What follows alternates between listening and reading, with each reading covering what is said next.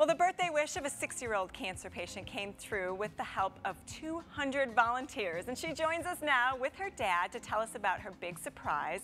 Welcome Ava Dorion Franklin and Jeff Franklin. Hey there.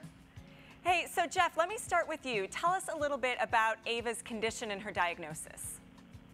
Um, Ava was diagnosed in uh, January unexpectedly with a, um, they found a brain tumor uh, called a glioblastoma. Okay. Uh, very serious uh, brain tumor. She had most of it removed, and um, we're still undergoing treatment now to take care of what was in there and hopefully um, not have any regrowth or reoccurrence. Okay, wonderful. So for Ava's birthday, she had a special wish. So Ava, what did you want for your sixth birthday? Do you remember what you asked for?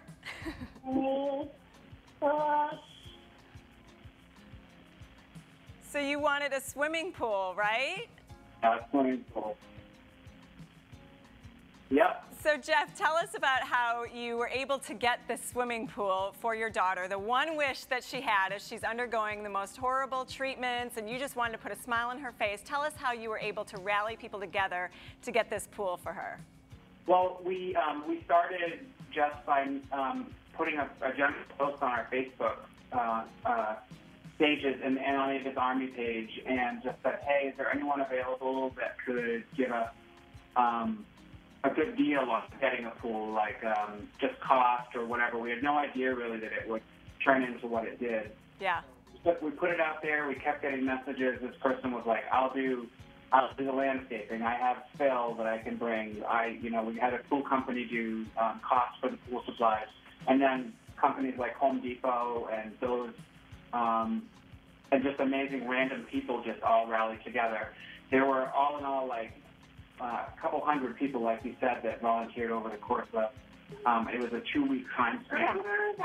Wow, that is just amazing. How does that make you feel to have so many people support you during this difficult time? I think it, it made us feel very, you know, loved that so many people have come together with um, just to help our family. Like it, it's a very heartwarming feeling. Absolutely. So you say the goal every day is to bring a smile to Ava's face. How does it feel to get so much support from all those strangers just to put a smile on your daughter's face? It, it means the world to us. I mean, she she's a pretty amazing little girl that always smiles no matter what. And um, she's not really cooperating right now, but that's okay. I've got a five-year-old and a seven-year-old, so I know all about it. but we, we saw some pictures of her beautiful smile.